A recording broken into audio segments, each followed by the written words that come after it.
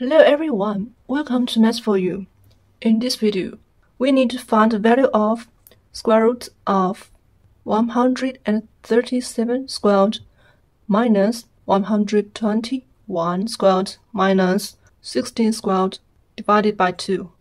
So first, we let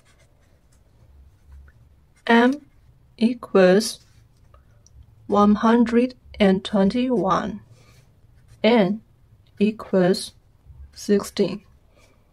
137 is same as 121 plus 16.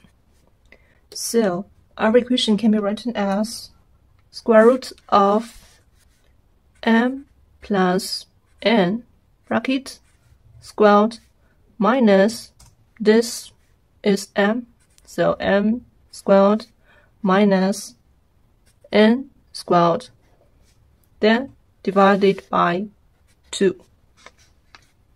It will be equal to, we open the bracket, square root of m squared plus 2m m plus n squared, then minus m squared minus n squared divided by 2. Now we simplify, so this will cancel with this, this will cancel with this. So to be equal to square root of 2mn over 2. Then this will cancel.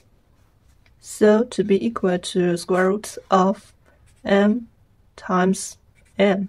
Then in here we let m equals 121 and n equals 16.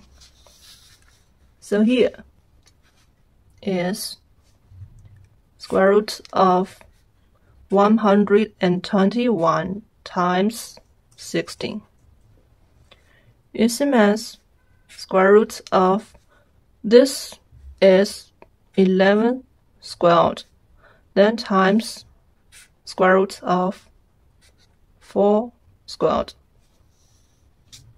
Now we simplify. So to be equal to 11 times 4. The final answer is 44.